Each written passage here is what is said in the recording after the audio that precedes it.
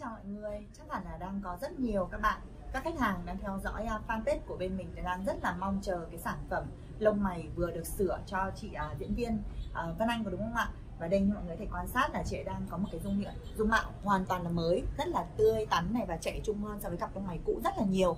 Và bây giờ thì mình sẽ uh, cho chị uh, Vân Anh soi gương để chị có thể uh, cho chúng ta cái nhận xét khi mà sửa đổi cái cặp lông mày của mình chị nhé. Không biết chị có thấy hồi hộp không ạ chị?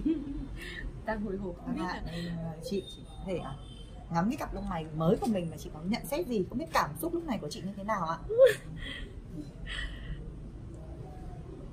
uhm, nói thật với em là chị nhìn cặp lông mày đúng là ngoài sức mong đợi của chị dạ. vì là trước cái form lông mày của chị thì cái hiện trạng trước em đã nhìn thấy rồi vâng. nó còn không có những cái sợi cơ vâng. nhưng mà hiện tại bây giờ thì form lông mày chị thấy rằng là rất là trẻ dạ. rất là trẻ và những cái sợi lông mày chị thấy mềm mại lắm vâng ạ ừ. không biết về kiểu à. dáng thì sao chị thấy như thế nào kiểu dáng chị rất là ưng trong cái quá trình làm ấy thì uh, như ví dụ như da chị là da rất là mỏng vâng. thì chị sẽ nghĩ rằng là nó sẽ rất là đau đau lắm vâng ạ. nhưng mà uh, các em làm thì chị lại có cảm giác nó chỉ hơi châm chích hơi hơi sát sát một chút thôi dạ.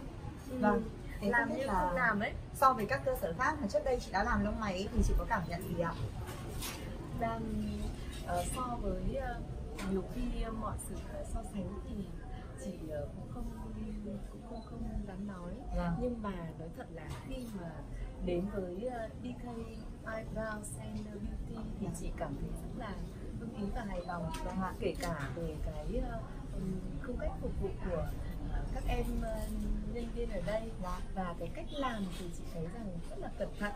Chị nghĩ rằng là từ bây giờ và về sau này nữa nếu như có một cái nhu cầu gì về lông mày mắt hoặc là phun bôi thì chị sẽ nghĩ đến bên DK mình là số 1 dạ, vâng đầu tiên. Vâng ạ. À. thế không biết là qua livestream này thì chị có muốn gửi gắm uh, điều gì tới các bạn mà đang có nhu cầu đi làm các dịch vụ liên quan đến lông mày môi mí này? Cũng như là có điều gì mà chị muốn gửi gắm tới đội ngũ nhân viên bên em không ạ? Ừ.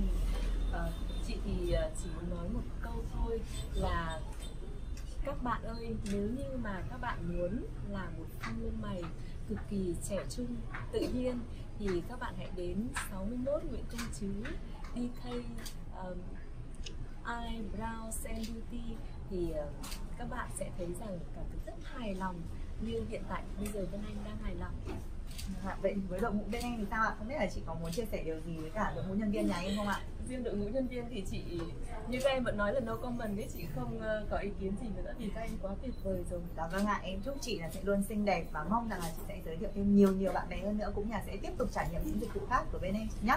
Dạ ạ. Cảm ơn mọi người đã theo dõi livestream ngày hôm nay của bên mình và hẹn gặp lại mọi người trong những livestream tiếp theo của DK nhé. Xin chào và hẹn gặp lại mọi người.